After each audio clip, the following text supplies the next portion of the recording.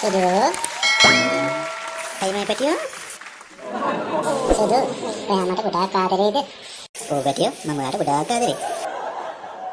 ආ, ඒක නෙවෙයි මයි පැටියෝ. මං අදිසියවත් නැති වුණොත් ඔයා මොකද කරන්නේ?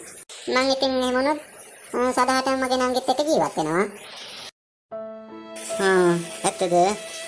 ඔව් පැටියෝ ඒත් ඊට කලින් මම නැති වුණොත් ඔයා මොකද කරන්නේ හ්ම් එහෙම වුණොත් ඉතින් මම මොකද කරන්නේ? මාත් ඉතින් ඔයාලා ළඟිත් එක්ක සදාටම ජීවත් වෙනවා. ඈ යාළුවනේ අමතක කරන්නේ නැතුව channel එක subscribe කරලා කමෙන්ට් එකක් දාන්න, like කරන්න, යාළුවන්ට බලන්නත් එක්ක share කරන්න. අලුත් කාටුන් එකේ හම්බෙමු.